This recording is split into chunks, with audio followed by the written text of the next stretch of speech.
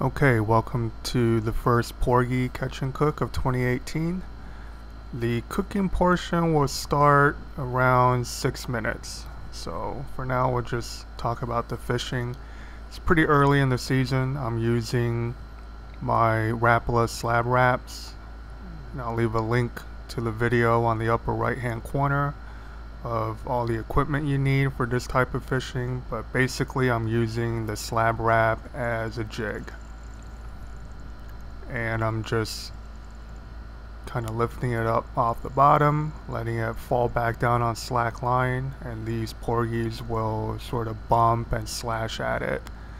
Um, I replaced the treble hooks with a single hook just in the tail and the belly I weighted down with some figure 8 clips and I'll leave a link to all that stuff down below. I'm using the Phenix feather rod the 7 foot 1 light and you see me taking a while to bring this fish in. And I am using 6 pound leader but that's not the reason. You'll see in a second why you have to fight these fish sort of gingerly when you're using the number 4 or number 2 owner hooks. And right there most of these fish are going to be skin hooked just barely skin hooked. And you need a light action rod. You need the correct drag setting this is the Tatula 1000 LT reel and it has a very unique drag system. Very different from the Shimano Stratic that I'm used to, but more on that later. So that's the first one that I kept and I only kept three that day.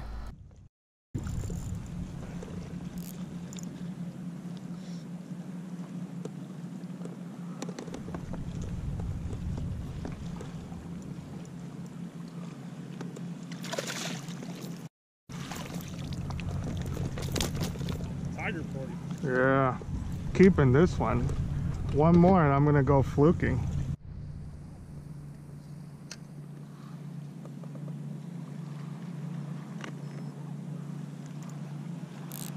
These new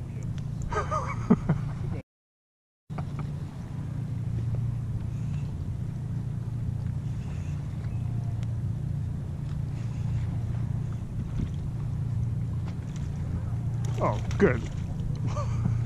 You want me to donate to your you No, no, I'm okay. catch your own? I'll, I'll catch my own. Little loose lips here. That's a nice one.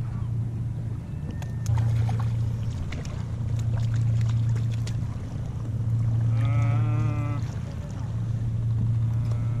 Oh, why'd you gotta do that?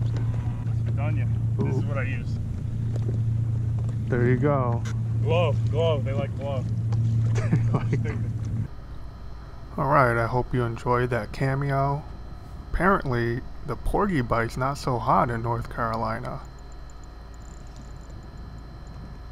But yeah, I did try fluking for a little bit, but it's very spotty in that area. There's there's fluke around, but it's it's almost not worth spending a lot of time targeting them. Every season I'll catch a couple nice ones though.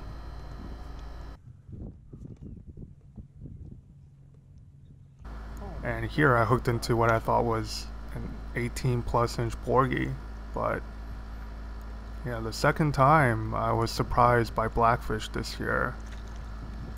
The last time was catching them on Kitex.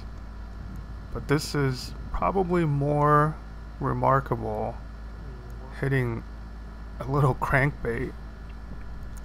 Nice little fish. I put it back in the net just in case it needed some time, but he was good to go. So I'm finding the porgies in over 25 feet of water that day, and that's another reason why I went down to 6 pound leader. Normally I would use 10 or maybe even 12, but this bait weighs 3 16th ounce, and even with very little current, you do need some light line just to get it down. So the drag system on these Tatula reels, or I guess all the new Daiwa LT reels, they don't seem to be linear. A lot less line than you would expect is peeling off the reel on these very light drag settings. However, I didn't lose any fish. Even the ones that are barely skin hooked, like this one, and the next one you'll see is just, you know, very light pressure. The hook will pop right out. So here you see me bleeding out the porgy. They bleed very nicely. The most important thing is you get these on ice as soon as you're done bleeding out. Porgies are not fish you drag around your kayak or leave in a bucket in the boat during the summer. It's just, they're quite sensitive to temperature. So definitely bring some kind of cooler or fish bag with you when you're porgy fishing. There's really no point keeping them if you're not going to keep them cold. So here I think was probably the biggest porgy of the day and I know they're going to get bigger as the season progresses. So 17 inches my record in this area anyway. And my friend Zoran had one that was over 18 inches last year.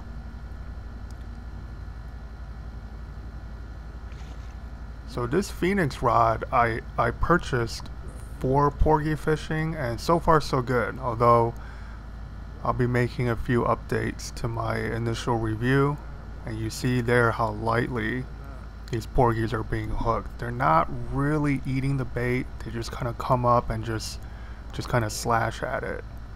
And yeah, that's a thick pre-spawn fish. Alright, that's the fishing bit and here comes the cooking portion. Alright, so this Caribbean grilled fish, I suppose the only real Caribbean ingredient is, look at that, Jamaican. I think these are scotch bonnets. Thyme, dill, and parsley are the main herbs. And then lemon, lemon juice, a couple of tomatoes, a red onion, spring onion or scallions, and these yellow, orange scotch bonnet peppers. And we're just gonna make a marinade as a sauce or a salsa for the fish. All right, so as opposed to our last dish, which was more highbrow, everything here is going to be pretty roughly chopped. So these scallions slice relatively thin. You don't want too much of the green. Most of the white,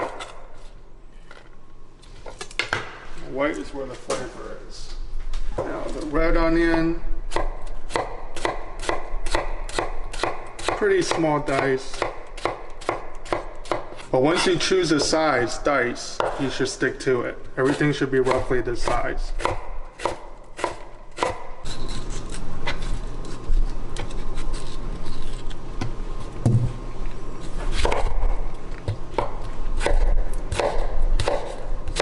And we'll, we'll use these seasonal.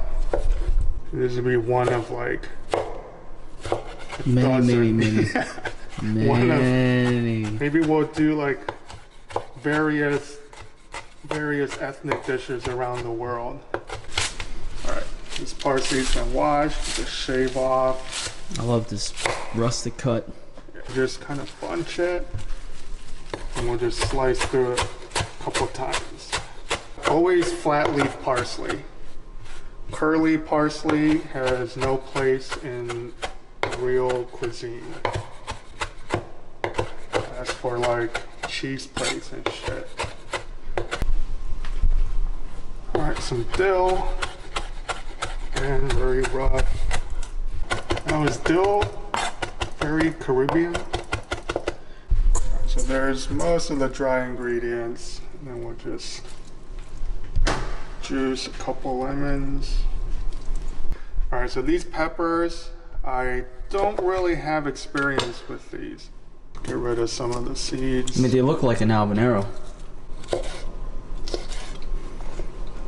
Oh no, I kind of smell it now. Oh, yeah. They smell nice though. Mm-hmm. They smell very like fragrant. This might be a mistake, Mark. What if it's like crazy hot? Wait, wait, wait. Hold on. Oh boy. Very hot. It's very hot? Mhm. Woo! Is it hotter than the red Thai chilies? Try one for yourself. I don't know. I'm not gonna do that because I have to taste this uh, I wouldn't put a lot in it just Yeah, to start let's do like a teaspoon. Maybe a little more. Okay, just one more. All But right, I that's- think that's the the type of heat. There, there. Okay. Oh my With the- God. no, that's gonna be good. It's gonna be good. And then this one, we'll just stuff inside the fish. Right. So You're have- tasting it today. I am not tasting it. I gotta show up to my date. Not like All right. Little small knob of ginger. But we're just gonna mince. And very rustic. Ginger, you do have to mince it out. Don't want to eat like a big chunk of ginger. Few cloves of garlic. Rough chop. Pinch of salt. Let's break everything down. This goes in. Now, so we're gonna add just a dash of soy sauce. And this is, you're not gonna taste it, but it's gonna add a lot of umami. Mm. Likewise, teaspoon of sugar, teaspoon and a half, and then olive oil. Couple big pinches of salt. apple cider. Yeah. Yep. And we learned from the crudo that the two different acids, they really play well.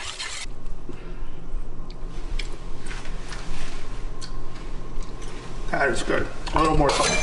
So the, the apple cider vinegar. Yeah, the apple cider really just rounds everything out. If it's just lemon, it's too sharp and it's not that savory. Yep. All right, so that is our marinade slash uh, warm sauce. All right, so these porgy, they've been salted down. So I trimmed all the spines, all the fins, left the eyeballs in because we're not frying it. They're not going to explode. So just a thick layer of kosher salt and then paper towels, foil wrap. And now we're going to oil these down for the grill. This is just grapeseed oil. You don't want too much oil. You want just enough to coat it. But here's the important thing. After you coat it with oil, another layer of salt. Kosher salt. And we're gonna do one side and salt the other side once it's on the grill. And yes, you might think I already pre-salted this fish and now I'm adding more, so it's not gonna be too salty. Whole fish can take it. You know, most of it is gonna fall off the grill anyway. All right, and that's it. We're gonna go outside. All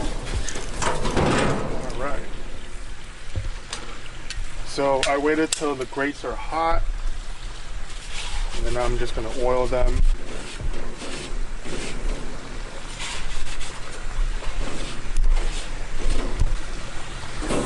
Toss this side down.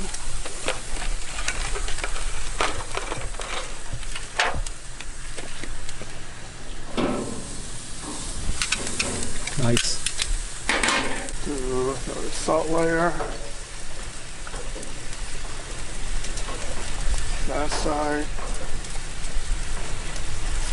Gotta just let it hang out. Don't touch it.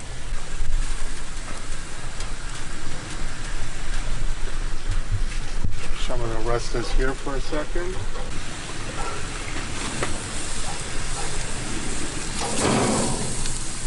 This. Nicely done. Not bad. Pretty solid. Now it doesn't matter what happens. We got the first side. The other side can go to complete shit. Bottom of the plate. These porgies, you can just cook them until, you know, almost like a bark forms. And they taste, you know, like a fluke, the window is like 10 seconds. Porgy, you can just let it go. So much fat. While that's finishing up, we're gonna sauce the plate. This has been marinating for couple hours.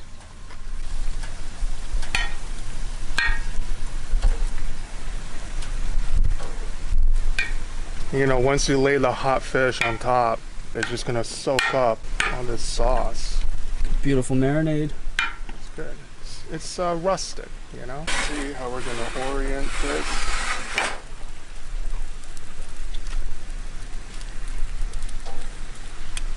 Okay, lay it on the sauce. Okay. Just kind of press it into the sauce.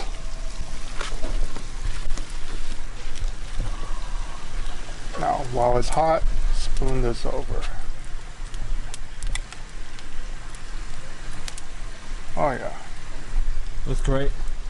See, it wouldn't make sense if you, you know, do like a fine brunoise and everything. Just leave it chunky, like a salsa.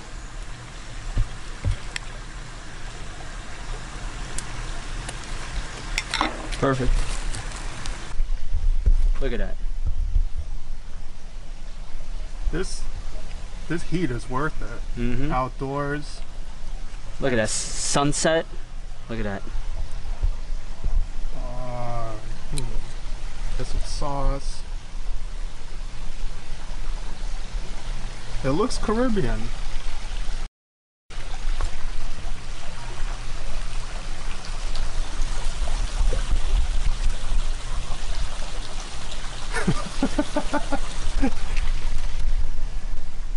That's a colorful, you know, that crudo I felt was a little elitist. Mm-hmm.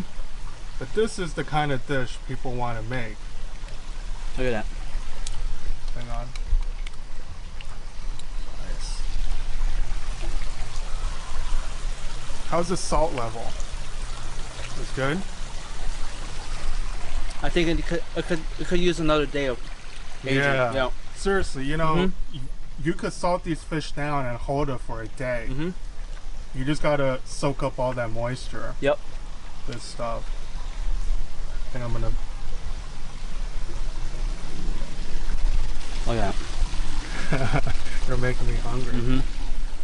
All right, well, there you go. Caribbean grilled porgy. All right, thanks to my cousin Mark for filming on a very hot day. It was absolutely brutal.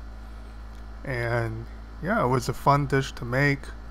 I'll be doing more of these international dishes sort of outside my comfort zone. So stay tuned for the next Catch and Cook, and thanks for watching.